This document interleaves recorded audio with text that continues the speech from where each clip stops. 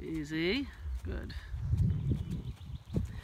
Okay, so, you know, everything about her, you know, we're riding her very gingerly. And we want to get, you know, we don't want, really want to ride her gingerly.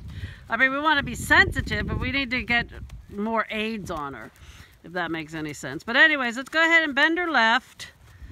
All right, bend her left, and you're going to dip into your, it's good. Well, now that was like lovely, okay? See, don't let her look to the right, Sonia. Okay, so you need to shorten that left rein.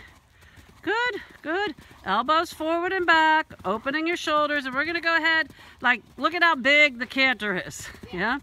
At least she's on the bit now, better.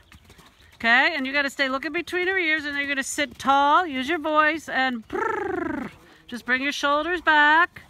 Keep the left bend. Posting, bending, posting, bending. Go ahead and see if she'll stretch. Easy. Keep the posting slow. Good. Look at that trot.